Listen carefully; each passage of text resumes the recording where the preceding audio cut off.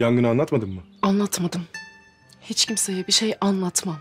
Babamı gördün işte benim onun yanında olmam lazım. Lütfen bırak beni. Bana bunları anlatma. İstediğin anda babanın yanında olabilirsin. Hatta ona daha iyi bir tedavi de sağlayabilirsin. Her şey senin elinde. Kaçırdıklarını bil istedim.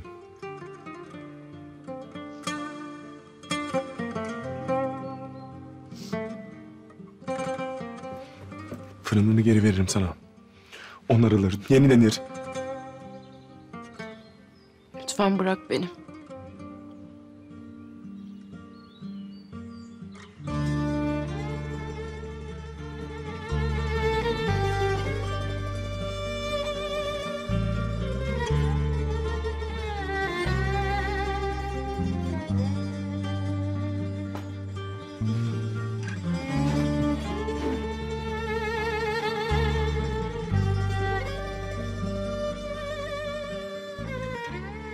Bizim evimiz olacaktı burası.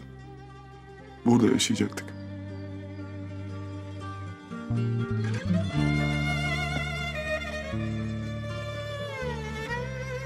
Kendi ellerimle yaptım ben burayı. Onun için. Çocuğumuz burada büyüyecekti. Sus lütfen. Benden ne aldığını anla. Ben böyle olsun istemedim. Ben Neye mecburdun?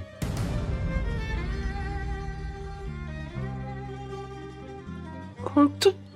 Yalan söylemeyi hiç beceremiyorsun.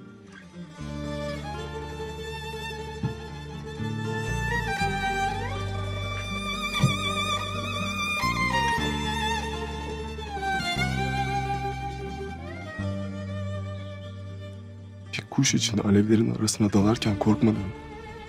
O gece mi korktun? Başka bir şey söyledim babana. Ben hala senin kızınım dedim.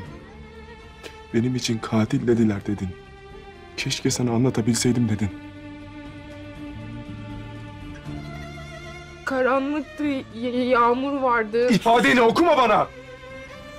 Çünkü görmedim, göremedim. Ben her gece o anı tekrar tekrar zaten yaşıyorum. Görebilseydim eğer. Yeter! Yeter.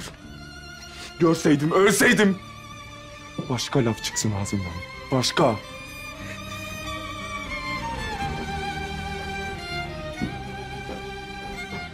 Kaçacak yerin yok Meryem Akça.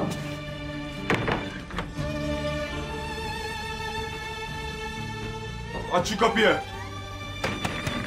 Aç dedim sana.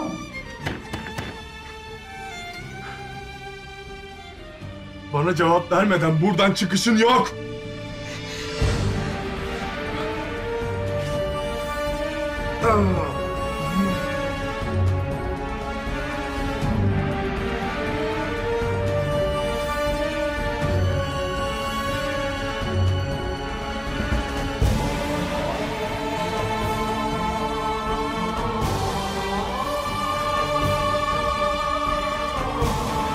Kanalımıza abone olarak tüm videolardan anında haberdar olabilirsiniz.